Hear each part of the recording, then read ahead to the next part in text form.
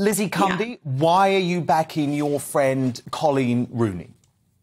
Well, I'll tell you why, Dan, because this could have been prevented. Coleen tried three times to stop this from going to court and reaching out to Rebecca to try and get some sort of truce, handbags down, and walk away from it.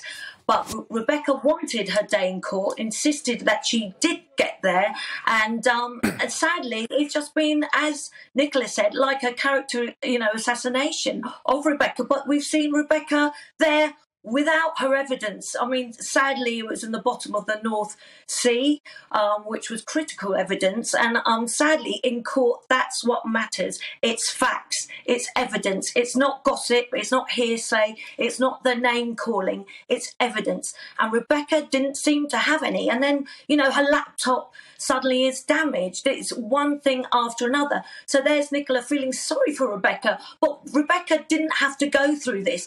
Why? It's, I mean, we've had a pandemic since this first started.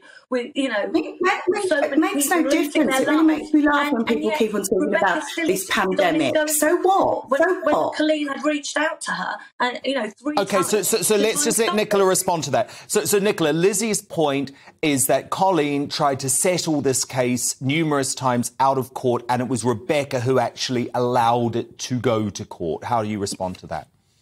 Do you know what I'd really like to know is when's the last time Lizzie actually spoke to Coleen? Because Coleen has taken Lizzie off her private Instagram account. They no, no longer follow each other on the private. So, so do, do, you know? Do you know that? Do you know that Coleen tried to settle it through the horse's mouth, or just what you're reading? Like well, just let Lizzie else? respond. Just let Lizzie respond.